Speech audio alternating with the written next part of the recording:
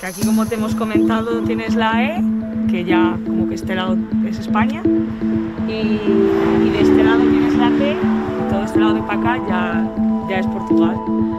Y está incluso pues esto en el medio lo que separa o lo que es un país del otro.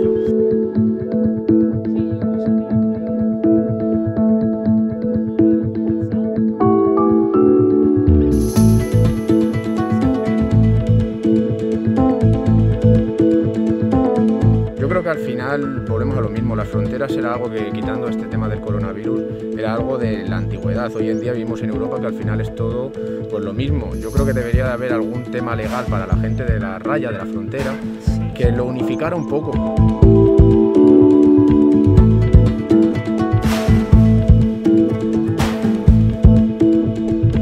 Vila Formosa y Fuentes de Añoro comparten calles, comparten familias, comparten trabajos.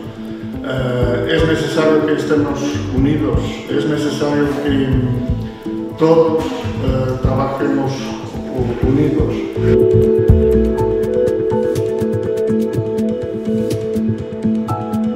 Debería eso, haber un, un, trámite de ciudadano único, que no haya esas diferencias entre eh, estar aquí, ahora aquí en Vilaformosa y a 50 metros ya pasas a ser otra, otro individuo.